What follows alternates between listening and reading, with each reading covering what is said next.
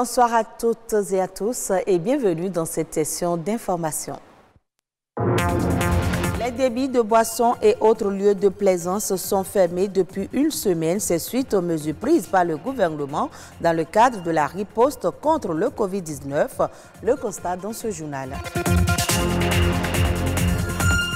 Ils négocient des titres financiers et travaillent la plupart du temps pour le compte d'un établissement bancaire ou d'une société de bourse. On les appelle traders. Nous ferons un zoom sur ce métier. L'élevage d'escargots, beaucoup de jeunes s'y adonnent, surtout en période de pluie. Aujourd'hui, comment se porte ce secteur d'activité? Un éleveur d'escargots nous éclaire.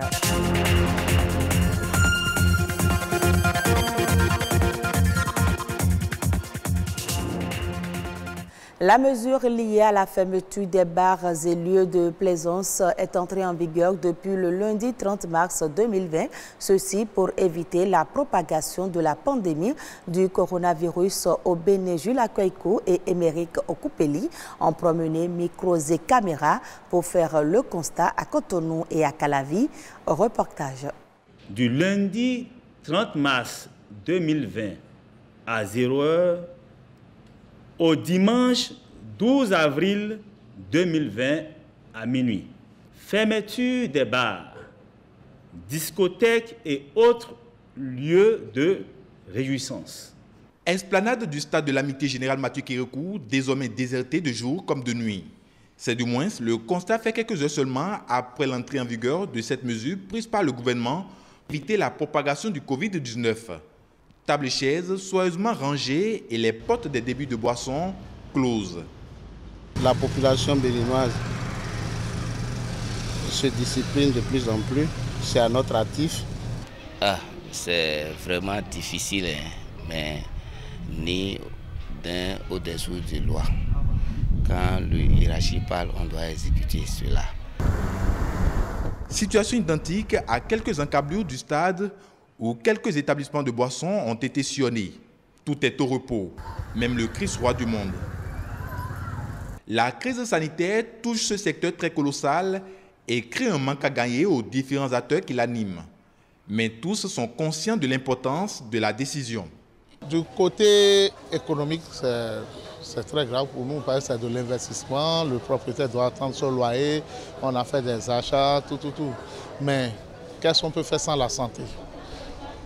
On a besoin d'être en forme pour faire tout le reste qu'on est en train de dire. Si on peut le faire et que Dieu va nous aider à, écarter ce virus de notre pays ou du continent ou du monde entier, on est obligé d'y faire avec.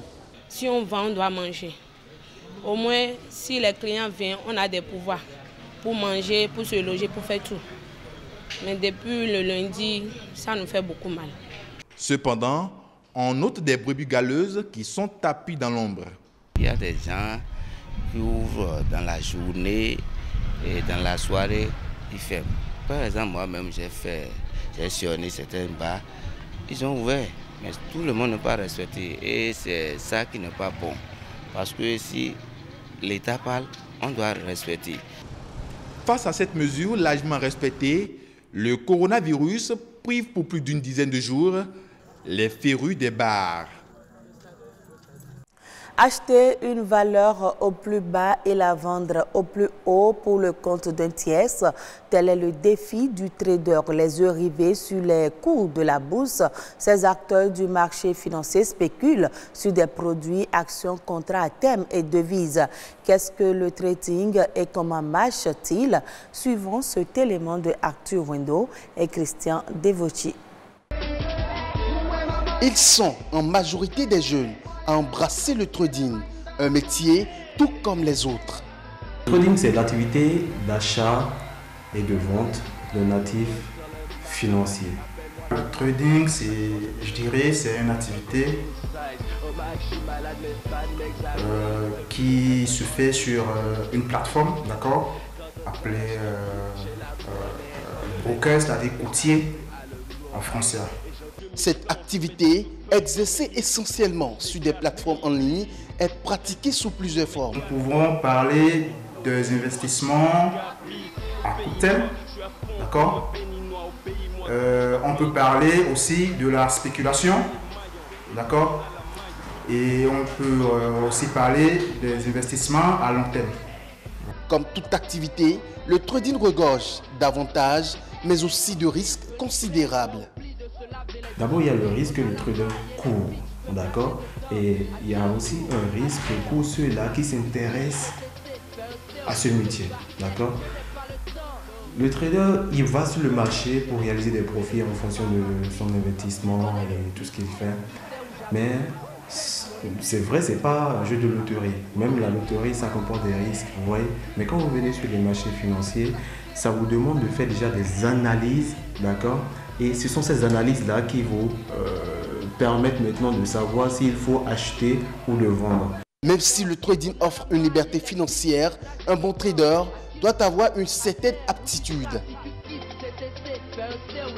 Vous n'avez pas besoin d'avoir le bac, le BTS, la maîtrise. En gros, vous n'avez pas besoin d'avoir le gros diplôme avant d'être trader. D'accord? Il faut juste se faire former par, par quelqu'un qui connaît le métier, qui maîtrise bien le domaine, d'accord Et que vous voyez faire des exploits et que vous voyez faire de bons résultats. D'accord Donc pour cela, il faut vraiment se concentrer sur le truc, chercher à comprendre comment est-ce que ça fonctionne, chercher à comprendre comment est-ce que ce marché-là, ça bouge, d'accord, avant d'investir votre argent. Parce que euh, sans maîtrise, enfin sans pratique, il n'y a pas de maîtrise. D'accord? Donc euh, en gros, je dirais qu'il faut d'abord travailler sur soi-même et après faire une bonne formation avant de se lancer dans le trading. Il n'y a pas de saut métier, dit-on.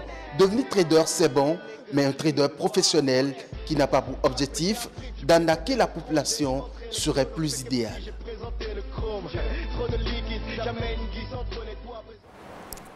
La commercialisation de l'escargot au Bénin demeure faible. Pourtant, sur le marché, la demande est forte. José Migan est un éleveur d'escargots et il peint le tableau de son secteur d'activité. Dans ce extrait, il est au micro de Stanislas Limpon. De nos jours, les gens commencent par découvrir les qualités et valeurs de l'escargot. Ça fait que la demande augmente.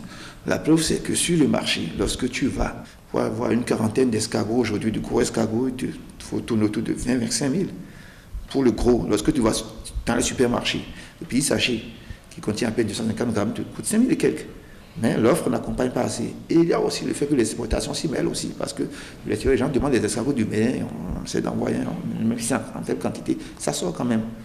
Il ne faut pas décourager, ça c'est intéressant. Il faut encourager la production pour que ça puisse marcher parce que tu es là, il faut que les terrains s'adaptent à ça, il faut remplir telles conditions, il faut aussi, il faut ça, il faut s'y adapter, il faut que toi tu, tu as moulé dedans d'abord les débuts, bien même que tu as une formation, c'est pas facile. Mais lorsque ça arrive, ça s'installe et que les trucs sont intéressés pour bon, quand ça prend, c'est bon, il n'y a plus de soucis. On tourne autour de 100 kilos le, an. Ce n'est pas suffisant. Vu la demande, ça ne suffit pas. Si on s'intéresse à ça, si on l'organise, on planifie, on parlera dans ces thèmes-là. Parce que le produit sera disponible et chaque fois, le cycle sera continuel. On le sort, on sortira chaque fois au fur et à mesure. Et puis c'est établi, et puis c'est bien. Mais c'est un élevage qui dure un peu sur le temps. Ce n'est pas des élevages à cycle court, comme les poulets, les cailles, les canards, non. Chez les escargots, il faut attendre 6 mois ou 8 mois pour avoir des choses de taille moyenne. En six semaines, je dis, ah, les poulets, tu as déjà des poulets de 2 kg, 2 kg 5, 3 kg. Chez les escargots, pour avoir 350 grammes, il faut, avoir, faut attendre 6 mois. Vous voyez que la différence est là. Ça fait que c'est un peu lent. C'est un élevage très intéressant en termes d'apport de, devises. Parce que les escargots ne manquent pas grand-chose le ration alimentaire ne coûte pas aussi cher, des herbes gras, il faut d'avoir la connaissance, de savoir ce qu'ils mangent, d'améliorer un peu les résidus alimentaires, les fruits pourris, des trucs comme ça. Ils consomment sa satiété et ils se développent normalement. Quels sont les autres faits marquants de l'actualité? La Nation en bref, c'est une présentation de Marianne Gossemende.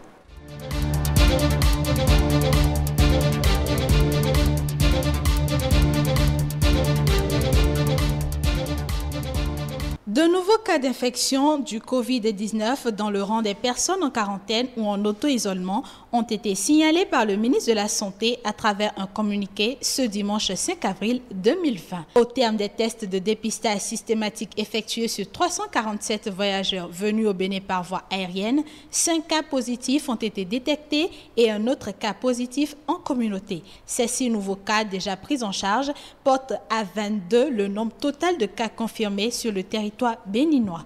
Le ministre de la Santé invite donc toutes les personnes dont la période d'auto-isolement de 14 jours est arrivée à terme à se faire dépister gratuitement sur les sites dédiés.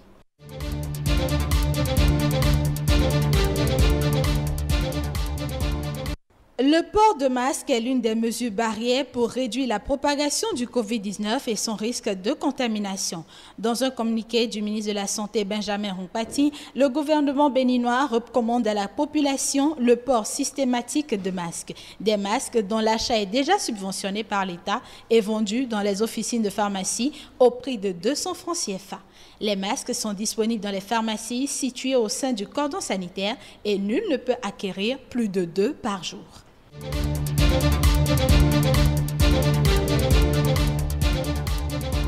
La campagne de commercialisation 2020 des noix de cajou lancée le 19 mars dernier à Cotonou a pris un coup.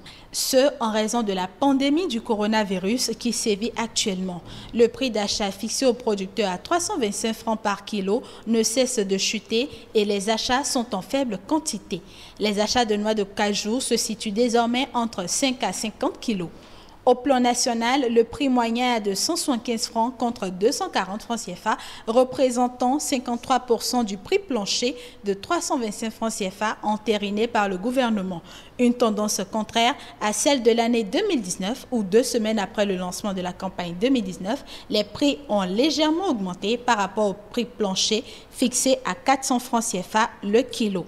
Le gouvernement envisage d'atteindre la barre des 300 000 tonnes d'ici deux ans contre une estimation de 130 220 tonnes lors de la campagne 2018-2019.